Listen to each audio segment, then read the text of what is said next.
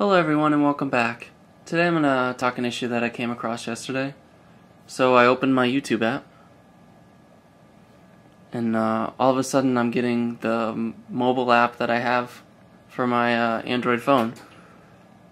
And I don't have that beautiful panoramic view of all the videos and that nice uh, Xoom interface and I was puzzled for a couple minutes but um,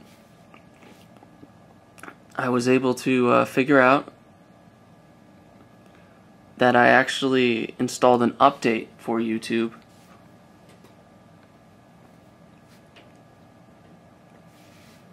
That um, for some versioning reason overrode the Xoom. So all you have to do is uninstall that update once you highlight it. And um, if you go back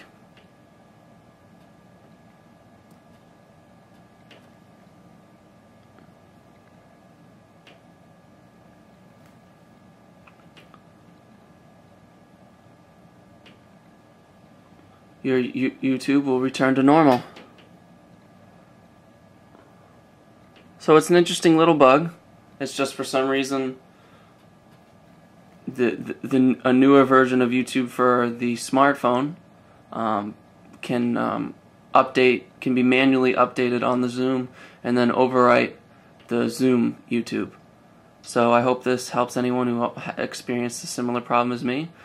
Let me know if you have any other problems or want to see a certain Xoom video or feature.